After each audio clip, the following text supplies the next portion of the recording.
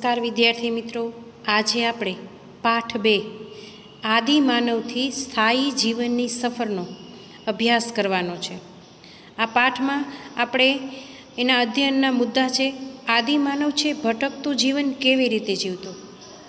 ત્યારબાદ ભારતમાં આદિ માનવના વસવાટના અનેક સ્થળો છે. ભારતમાં પાષાણકાલીન માનવ વસાહતનો નકશો એ પણ સમજવાનું છે. ત્યારબાદ અગ્નિ અને ચક્રનો ઉપયોગ આદિમાનવે કેવી રીતના શરૂ કર્યો? બદલાતું પર્યાવરણ, સ્થાયી જીવનની શરૂઆત, ભોજન, રહેઠાણ, પોશાક વગેરેનો અભ્યાસ કરવાનો છે અને વિગતે સમજવાનો છે. વિદ્યાર્થી મિત્રો, તમને પ્રશ્ન થતો હશે કે આદિમાનવ એટલે શું?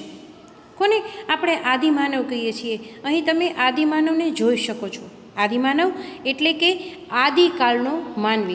એટલે કે જે ખૂબ જ જૂના સમયના માનવો છે, એને આપણે આદિમાનવો કહીએ છીએ. તમે જ્યારે અભ્યાસ કરી રહ્યા છો, ત્યારે તમારામાં જિજ્ઞાસા વૃત્તિ બહુ હોય કે આ વસ્તુ કેમ બનતી હશે? આનું કેમ આમ જ થતું હશે? ત્યારે તમને એવો પણ પ્રશ્ન થતો હશે કે આદિમાનવ છે એની ઉત્પત્તિ કેવી રીતના થઈ? તમે જુઓ, ઘણી વખત બસની અંદર જાઓ છો કે રિક્ષામાં જાઓ છો તમારા વડીલ સાથે, ત્યારે તમને એમ થાય કે આ વાહન વ્યવહાર છે ક્યારથી શરૂ થયો હશે? આ રેલવેની મુસાફરી છે ક્યારથી શરૂ થઈ હશે? ત્યારે આવા દરેક પ્રશ્નોની અંદર તમને આપણો ઇતિહાસ છે એ જાણવા મળે છે. એ જ રીતે આપણે જ્યારે આદિ માનવને સમજીએ છીએ, ત્યારે આપણે એ પણ સમજીએ કે જ્યારે હજારો વર્ષો પહેલાં માનવી પાસે આવવા જવા માટેના કોઈ સાધનો ન હતા, ત્યારે શું કરતા હશે? તો આપણે એવું કહી શકીએ કે ત્યારે તેઓ એક સ્થળેથી બીજા સ્થળે પગપાળા જતા હશે. એ જ રીતે આદિમાનવ છે, આપણા જેવો માનવી છે, આપણે જે માનવી બન્યા છીએ, એ પહેલાં માનવની ઉત્પત્તિ છે એ કેવી હતી? એવો પ્રશ્ન આપણને સહજ થાય. ત્યારે આપણે માનવીની તમામ ઉત્પત્તિનું બાબત છે એ આપણને આદિ માનવના ઇતિહાસની બાબતોથી જ જાણવા મળશે. તો શરૂ કરીએ આદિ માનવની સ્થાયી જીવન સફર. સૌપ્રથમ સમજીએ આદિ માનવનું ભટકતું જીવન. આપણે પહેલાં જ સમજ્યા કે આદિ માનવ એટલે ખૂબ જ જૂના સમયનો માનવી અને તેઓને ભટકતું જીવન જીવવું પડતું. શું કામ? તો કે પોતાનો ખોરાક મેળવવા માટે, પોતાનું જીવન ચલાવવા માટે.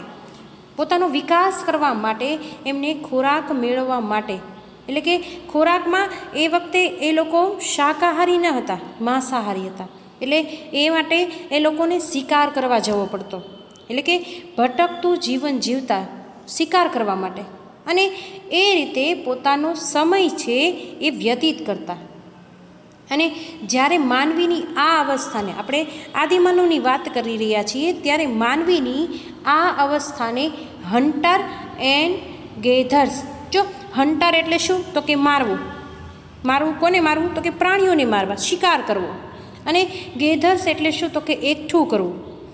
જે મારે છે, જે શિકાર કરે છે, જે માંસ ભેગું થાય છે, એને એ એકઠું કરે છે. એટલા માટે એની આ અવસ્થાને હન્ટર એન્ડ ગેધર્સ કહેવામાં આવે છે. તેઓ જંગલી પ્રાણીઓ, માછલીઓ અને પક્ષીઓનો શિકાર કરીને તેમજ કંદમૂળ અને ફળોને એકત્રિત કરીને ખોરાકમાં ઉપયોગ કરતા અને જ્યારે એને આવી રીતના જંગલી પ્રાણીઓ, પક્ષીઓ કે માછલીઓને એકત્રિત કરવાની હોય, ત્યારે બની શકે છે કે એ લોકોને એનો શિકાર કરવો પડે છે. ત્યારબાદ એને મારવું પડે છે. અને આ અવસ્થા આપણે જે સમજ્યા, એને શું કહેવામાં આવે છે મિત્રો? તો કે હન્ટર એન્ડ ગેધર્સ એટલે કે શિકાર કરવો અને એકઠું કરવું. આ રીતે આદિમાનવ છે, ભટકતું જીવન જીવતા. ભટકતું એટલે શું? તો કે એક સ્થળેથી બીજે સ્થળે, બીજે સ્થળેથી ત્રીજે સ્થળે. આ રીતે સ્થળોની ફેરબદલી દ્વારા એ જીવન જીવતા, શિકાર કરતા અને પોતાનો સમય વ્યતીત કરતા. હવે આપણે જોઈએ તો આદિમાનવો માટે પણ આ બધું સરળ ન હતું. શું કામ? તો કે આપણે જે વાત કરી કે જંગલી પ્રાણીઓનો શિકાર કરવો પડતો, તો જંગલી પ્રાણીઓ છે એ આદિમાનવો પર હુમલો કરતા. વળી દોડવામાં ખૂબ ઝડપી હોવાથી, તમે જુઓ હરણ છે, એ ખૂબ જ ઝડપથી દોડી શકે છે. હવે આવા હરણનો જ્યારે શિકાર કરવો હોય, ત્યારે આદિમાનવ માટે પણ થોડું જટિલ બની રહે. તો આવા જે દોડવામાં ઝડપી પ્રાણીઓથી આદિમાનવો છે એને સરળતાથી પકડી શકતા નહીં, કારણ કે એમના હાથમાં આવતા નહીં. એટલે ખોરાકની શોધની અંદર સતત આદિમાનવોને સ્થળાંતર કરવું પડતું. સ્થળાંતર એટલે એક સ્થળેથી બીજા સ્થળે ફરવું પડતું. અને માનવી આ સમયે કયા ફળ કે કંદમૂળ ખાવા કે ન ખાવા, એવી માનવીને સમજ ન હતી. એનું જ્ઞાન ન હતું. ઘણી વખત ઘણી ઝેરી વનસ્પતિઓ પણ તેઓ ખોરાકની અંદર લેતા. પરિણામે તેઓનું મૃત્યુ નીપજતું. આવા પણ ઘણા કારણો જોવા મળે છે. આ ઉપરાંત હરણ, ઘેટા બકરા જેવા પ્રાણીઓને સરળતાથી મારી શકતા હોવાથી આદિમાનવો તેમને શોધવા એક જગ્યાએથી બીજી જગ્યાએ ભટકતા હતા. વળી આપણે એવું પણ સમજી શકીએ કે જ્યાં પાણી છે એ મારી, તમારી ને આપણા સૌની જીવન જરૂરિયાત છે. તો એ સમયે આદિ માનવો માટે પણ પાણીની જરૂરિયાત ખૂબ જ હતી. એટલે પાણી જીવનની જરૂરિયાત. હોવાથી જ્યાં પાણી મળી રહેતું, ત્યાં આદિમાનવ છે વધુ રહેવાનું પસંદ કરતા. તો આપણે સમજ્યા? આ મુદ્દાની અંદર કે હન્ટર એન્ડ ગ્રદર્સ, આ ખાસ યાદ રાખજો. શિકાર કરવો અને એકઠું કરવું. આદિમાનવનું ભટકતું જીવન. આપણે આપણા અધ્યયનનો બીજો મુદ્દો. ભારતમાં આદિમાનવના વસવાટના સ્થળો. તો મિત્રો, તમને સહજ પ્રશ્ન થાય કે આદિમાનવના વસવાટના સ્થળોની ખબર કેમ પડી હશે? એનો ઇતિહાસ આપણી સુધી કેવી રીતના પહોંચ્યો હશે? ત્યારે આદિમાનવના વસવાટના સ્થળો શોધનાર પુરાતત્વ શાસ્ત્રીઓ નૃવંશ અને ઇતિહાસકારો છે. પુરાતત્વ શાસ્ત્રીઓ વિશે તમે અને ઇતિહાસકારો વિશે આપણે પાઠ એકની અંદર અભ્યાસ કરી ચૂક્યા છીએ. પણ નૃવંશ શાસ્ત્રી આ શબ્દ તમારા માટે નવો છે અને જ્યારે આપણે ઇતિહાસને સમજી રહ્યા હોઈએ, ત્યારે નૃવંશ શાસ્ત્રી એનો પણ આપણે ઊંડાણપૂર્વક અભ્યાસ કરવો જોઈએ. કારણ કે માનવ જીવનની ઉત્પત્તિ આદિ માનવની તમામ માહિતી એમના વસવાટના સ્થળો આપણને એમના દ્વારા પણ મળી શકે છે. તો સમજીએ, નૃવંશ શાસ્ત્રી એટલે શું? તો કે માણસની તમામ જાતિઓ સાથે જે ક્ષેત્ર અભ્યાસ કરે છે તેને આપણે માનવશાસ્ત્ર કહીએ છીએ.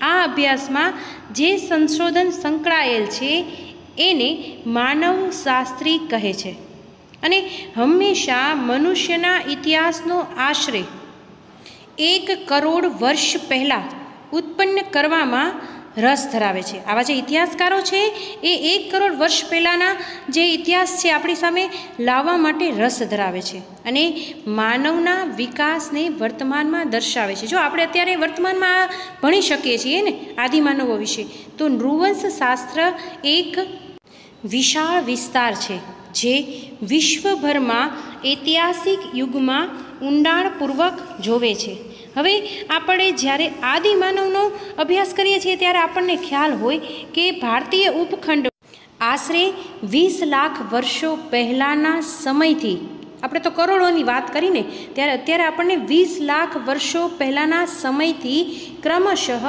આદિ માનવ વસ્તીના અવશેષો, એમના પ્રાથમિક જીવનના, એમના વસવાટના સ્થળો, આપણને આવા ઇતિહાસકારો પુરાતત્વશાસ્ત્રીઓ અને નૃવંશ શાસ્ત્રીઓ દ્વારા જ પ્રાપ્ત થાય છે.